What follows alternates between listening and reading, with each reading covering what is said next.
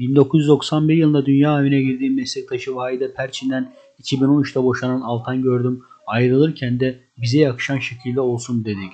Çok iyi bir dostluğumuz var dedi. Ve ünlü çiftin barıştığı iddia edildi.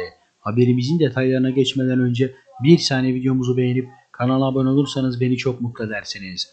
Altan gördüm Fatih Altay ile birebir programına katıldı.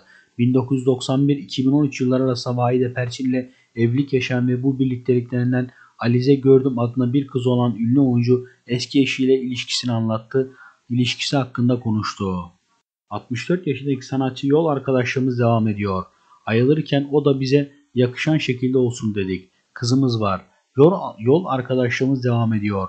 Çok iyi bir dostluğumuz var. Bana bir şey olsa önce o koşar ifadelerini kullandı. Şimdilik videomuzun burada sonuna geldik. Gündeme dair gelişmelerden anında haberdar olmak istiyorsanız aşağıdan kanalıma abone olup bildirimleri açabilirsiniz. Renkli sayfalar.